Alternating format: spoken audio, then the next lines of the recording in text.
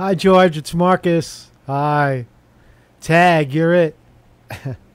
so, um, so tomorrow I'll be in DC, and I would like to interview you. I know we've had problems getting getting in touch with each other and communicating. I, I get it. I get it. Passing videos back and forth. Hey, listen, that's what that's what this is all about, right? Keep the whole thing public, right? The whole interview is the most difficult video. It's like uh, you're like interviewing Elvis here. This is like fucking tracking down Elvis to get it to talk. All right, so listen.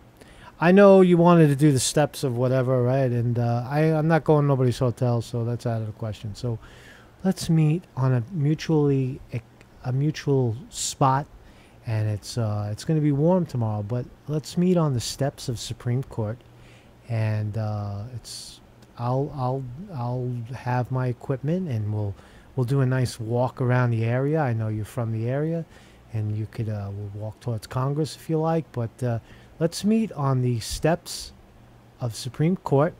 Okay, 12 noon, 12 noon. April, it's uh, 27th, right? Monday. Sunday night right now. I'm home.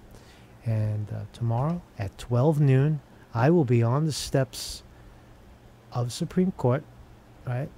And I hope you will join me. If I know that if you're interested in, in, in, um, for whatever it's worth, I, I'm not that, I'm nobody special, right? But I want to ask you a couple questions.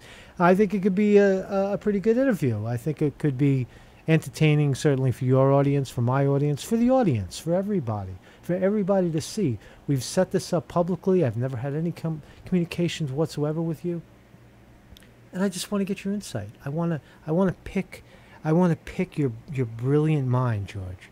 I want to. I want to find out what what George Oracle Webb is thinking and feeling. I want to know his. I want to know his innermost thoughts. I want to know. I want to know, George. Right? I want to know. I want to know, and I hope you will meet me at twelve o'clock. I know that. I want you to. I want you to reach into your pocket, right, George? I want you to grab your balls, right? I want you to grab your balls, George, and I want you to meet me on the step, not with your balls in your hand, but I want you to come out and I want you to meet me on the steps of Supreme Court so we could have a nice, fun, lighthearted talk about stuff. That's all. That's all. That's all.